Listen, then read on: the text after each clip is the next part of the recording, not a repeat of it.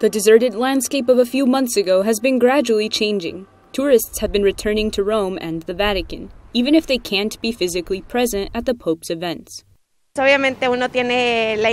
Obviously, one hopes, now with my baby, to go to one of the Pope's masses or a papal blessing. It's kind of strange that everything's online, but we also appreciate it.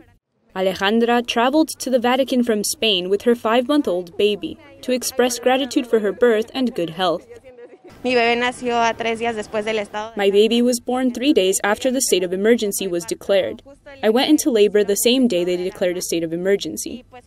Fortunately, everything went well, and I think these things that happen, for example, the birth of a baby, remind you that although everything seems to be going wrong, there's always a light on the journey. In the middle of the new normal, there are those who don't fail to be impressed by the sight of the Vatican with less tourists than usual.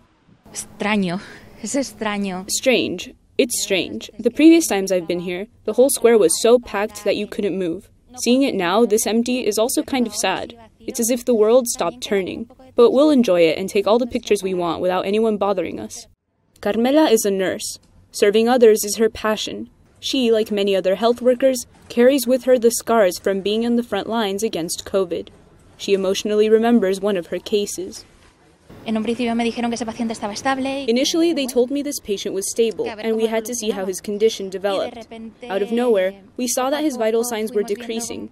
The only thing we could do was hold his hand and tell him he could rest. He passed away three minutes later.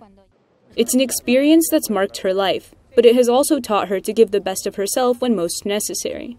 That's why a trip to Rome like this one is a well deserved break in the middle of a storm that, as a nurse, she's had to live through in these difficult months.